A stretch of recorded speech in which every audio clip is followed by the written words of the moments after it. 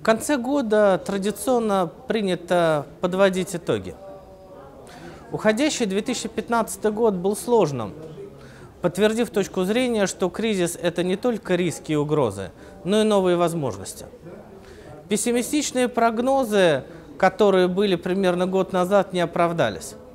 Несмотря на очень серьезное падение цен на нефть, в России не случилось нового валютного кризиса. Спад экономики составил 3,5-4%.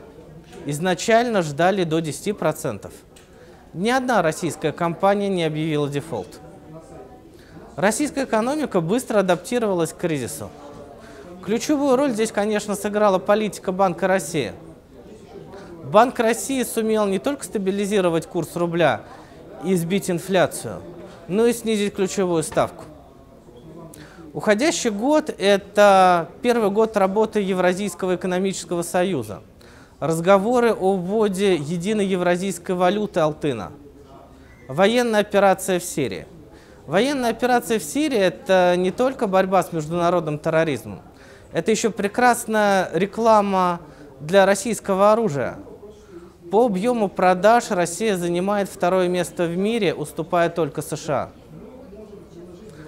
Новый год будет достаточно сложным. Скорее всего, экономика выйдет в легкий плюс, инфляция будет снижаться, однако все зависит прежде всего от цен на нефть.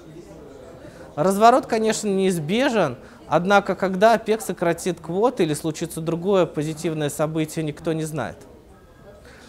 Россия будет заниматься созданием внутреннего рынка, созданием единого рынка Беларуси, Российской Федерации Казахстана.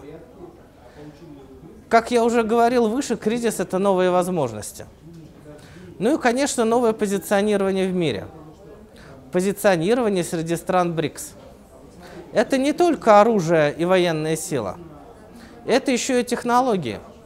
Россия может стать фабрика технологий для стран Азии и Латинской Америки. Мы надеемся, что шанс занять новое место в мире не будет упущен.